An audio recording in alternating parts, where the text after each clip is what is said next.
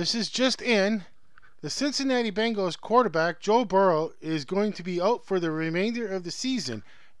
As I'm looking at it, the story right now,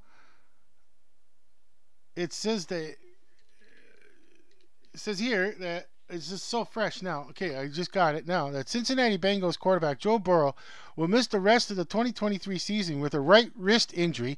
Head coach Zac Taylor made the announcement on Friday Friday afternoon.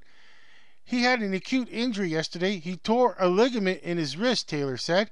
It was like it will likely require surgery and he'll be out for the season.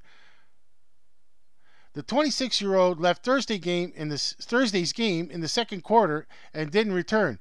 He completed 11 of 17 passes for 101 yards and one touchdown before leaving the game.